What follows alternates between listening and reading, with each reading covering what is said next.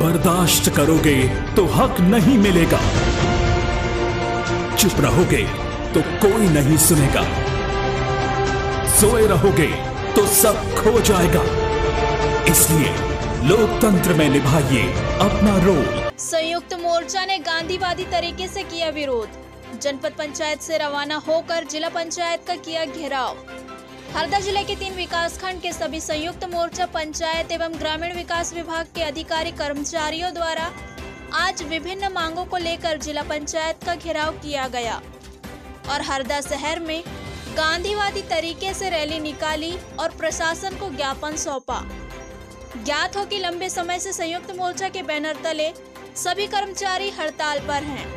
आज हरदा ज़िले की 210 ग्राम पंचायतों के 870 कर्मचारी अधिकारी सचिव जीआरएस एवं जनपद पंचायत कर्मचारी कंप्यूटर ऑपरेटर मनरेगा इंजीनियर के द्वारा जनपद पंचायत हरदा से जिला पंचायत तक नारेबाजी करते हुए रैली निकालकर जिला पंचायत सीईओ को ज्ञापन सौंपा गया। एमपीसी 24 न्यूज़ एक्सप्रेस के लिए हरदा से मुकेश कलम की रिपोर्ट। आ रहा है वीडियो बना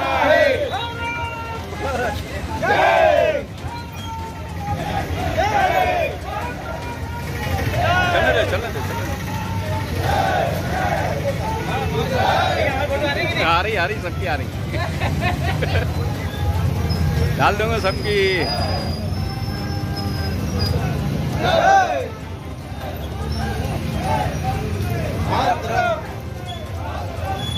अरे नारे लगाओ।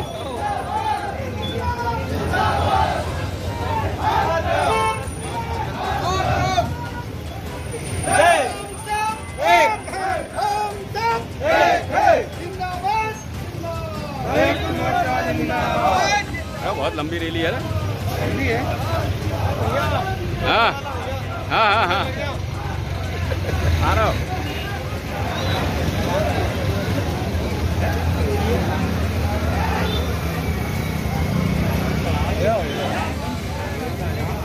तीन मिनट में रैली अभी खत्म नहीं हुई है